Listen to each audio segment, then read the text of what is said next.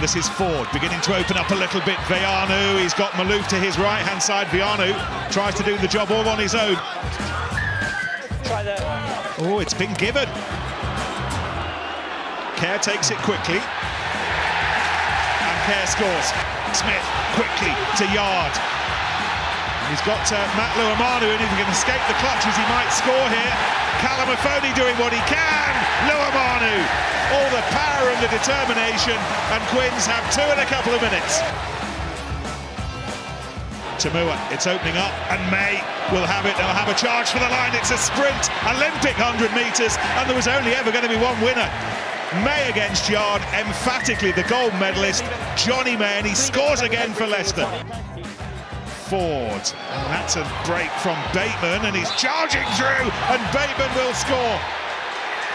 It's not just about the will-o'-the-wisps, occasionally it's about the big boulders. Cornwall waits, but they go the other way, and they score.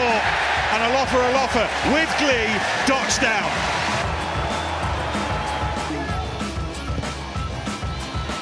It's been one of those classic games of Premiership rugby.